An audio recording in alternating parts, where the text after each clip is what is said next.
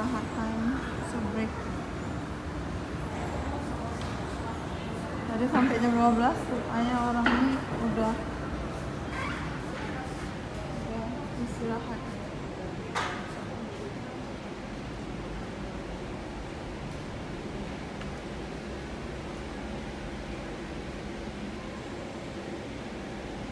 sunset.